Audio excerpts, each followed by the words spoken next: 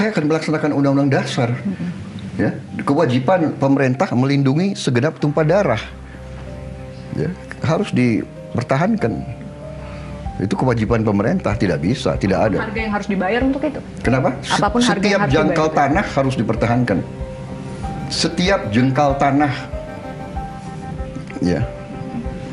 Itu perintah undang-undang dasar juga itu. Iya kan? Jadi kalau sekarang kita melihat itu terjadi, apa yang bisa kita baca dari sana? Ya, kita harus satu validasi. Benarkah terjadi? Apa benar? Jangan-jangan emosional, jangan-jangan, ya kan? Jangan-jangan itu fitnah, jangan-jangan tidak benar. Ya, jangan-jangan ada pihak yang mau adu domba antara kita sama Malaysia, ya kan? Benar nggak? Kita harus berusaha hidup dengan baik dengan semua tetangga kita.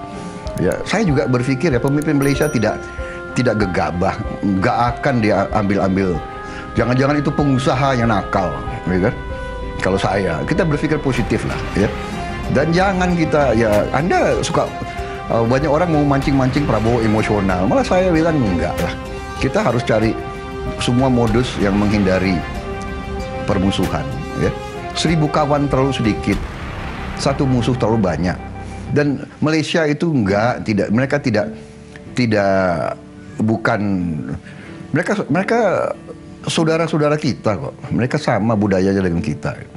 Kalau ada yang nakal di mereka, di Indonesia juga ada nakal, ya, ya kan benar nggak? Sudahlah, ya kan kita, ya sudahlah. Tapi nggak ada niat mereka mau caplok tanah kita. Saya yakin tidak ada itu. Malaysia dan Indonesia Dua negara serumpun Sama bahasa Sama budaya Sama agama Namun di sebalik banyak persamaan Tersimpan sebuah perasaan dendam dan sakit hati Mungkin bukan oleh majoriti rakyat kedua negara Dan segelintir sahaja warga Seperti founding fathers kedua-dua negara ini Namun ia telah memberikan sedikit kesan ke atas persatuan kedua negara ini. Ya, kedua-duanya berkongsi minat yang sama. Upin Ipin, ciptaan warga Malaysia, sering ditonton oleh anak-anak Indonesia. Anak muda Malaysia pula sangat-sangat gemar Peter Pan, uh, termasuk Luna Maya, Rosa, dan filem Ainun Habibi. Kalau yang lebih intelektual sedikit, akan menggemari almarhum Buya Hamka. Suara rakaman robot versi Indonesia menjadi kegilaan warga Malaysia. Apakah peristiwa ini ada hubungan sama kisah Xiaomei yang pergi bertempur meninggalkan ayahnya di kampungnya di Wuhan?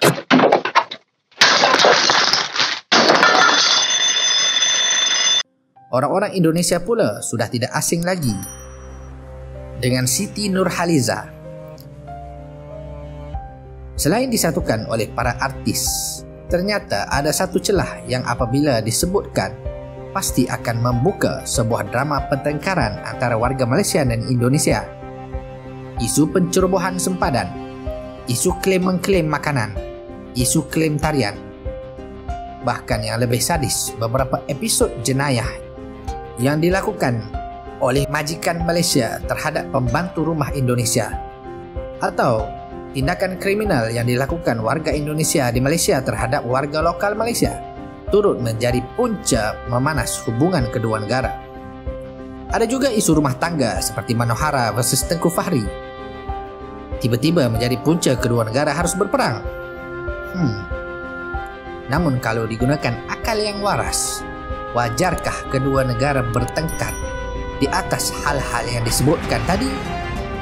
Kerana bukankah masalah ini sebenarnya berpunca daripada satu hal, yaitu kita sebenarnya berasal dari satu tanah yang sama, Nusantara.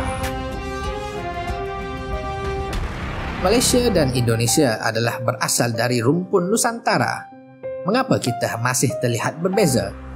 Dan apakah titik punca sejarah yang telah memisahkan antara kedua negara ini yang sebenarnya merupakan the only countries yang mempunyai majoriti bangsa Melayu? Selamat menonton.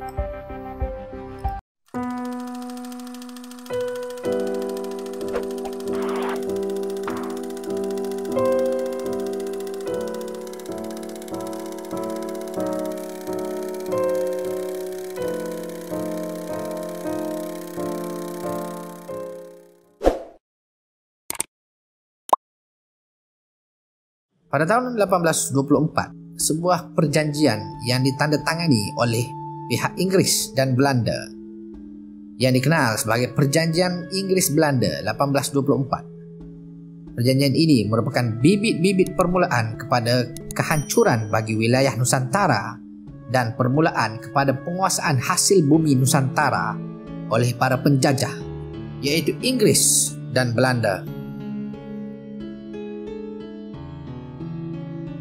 Pihak Belanda menyerahkan Melaka serta jajahan takluknya kepada Inggris. Manakala pihak Inggris berundur diri dari Sumatera dan menyerahkan Bengkahulu serta segala hak miliknya di Sumatera kepada Belanda. Pihak Belanda berjanji bahawa ia tidak akan membuka sebarang tempat di semenanjung Tanah Melayu ataupun menandatangani sebarang perjanjian dengan mana-mana raja pembesar atau sebarang negeri di Tanah Melayu. Dan yang paling penting, pihak Belanda memberikan pengiktirafan kepada pendudukan Inggeris di Singapura dan menarik semula semua bantahan mengenainya. Hmm, itulah seni politik. Seperti kata Sudin dan Ajis, satu untuk kau dan satu untuk aku. Satu untuk kau, satu untuk aku. Dua untuk kau, dua untuk aku. Tiga untuk kau, tiga untuk aku. Tiga berapa? Hitam sajalah, hitam sajalah untuk kau, hitam sajalah untuk aku. Lepas hitam sajalah. Betul lah. Betul dah untuk kau. Betul dah untuk aku. Eh, dalam dunia mana ada huruf betul dah? Eh, dalam dunia mana ada huruf betul dah untuk kau? Eh, dalam dunia mana ada huruf betul dah untuk aku? Kesan daripada perjanjian Inggris Belanda ini telah menyebabkan pembahagian Kepulauan Melayu kepada dua lingkungan pengaruh yang besar iaitu British dan juga Belanda. Ya, seperti permainan kuasa antara Amerika dan juga China. Atau sebelum itu lagi antara Rom dan Parsi. Yang kedua adalah perpecahan Empire Johor Riau Empire Johor berakhir apabila Singapura dan tanah besar Johor jatuh ke tangan Inggris. Manakala Kepulauan Riau dirampas oleh Belanda. Persaingan kuasa antara Belanda dan British semakin sengit. Akibat daripada perjanjian ini, Inggris telah dapat menguasai satu pusat perdagangan bebas yang makmur di tengah-tengah kawasan yang dahulunya begitu lama dikuasai oleh Belanda selama 300 tahun. Dengan menguasai semenanjung tanah Melayu dan Singapura ini, maka jalan perdagangan timur barat terbuka seluas-luasnya kepada pihak Inggris buat pertama kali dalam sejarah dunia.